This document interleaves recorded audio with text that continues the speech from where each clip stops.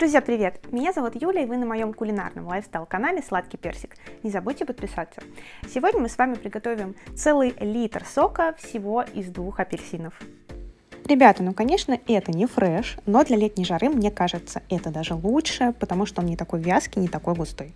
Мне лично нравится намного больше. Берем апельсины и нарезаем их на кусочки.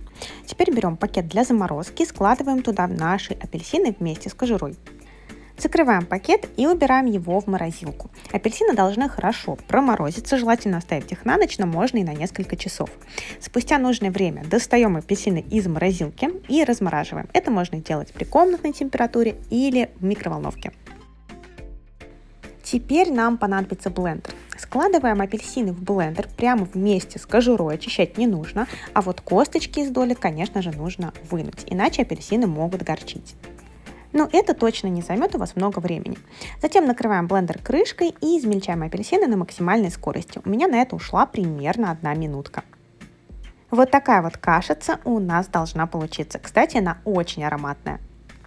Теперь нам понадобится кастрюля. Перекладываем эту кашицу в кастрюлю, убираем блендер, нам больше не нужен, и заливаем кашицу водой. Сперва нам понадобится 1 литр. Хорошенько перемешиваем с помощью столовой ложки и затем добавляем лимонную кислоту и сахар. Сахар можно взять по вкусу или, если хотите, вообще его не добавляйте. Потом наливаем оставшуюся воду, снова хорошенько перемешиваем и даем нашему соку постоять примерно 30 минут. Можно оставить подольше. Оставляем при комнатной температуре. В холодильник убирать не надо. Затем процеживаем наш самодельный сок и разливаем по графинам.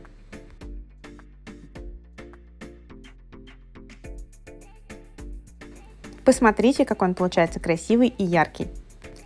Мне кажется, если выбирать между дешевым магазинным соком и таким домашним, то выбор очевиден. Храним такой сок в холодильнике.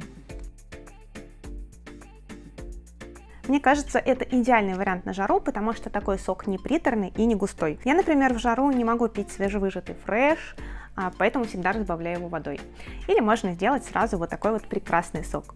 Не забудьте, пожалуйста, поставить лайк этому рецепту и подписаться на мой канал.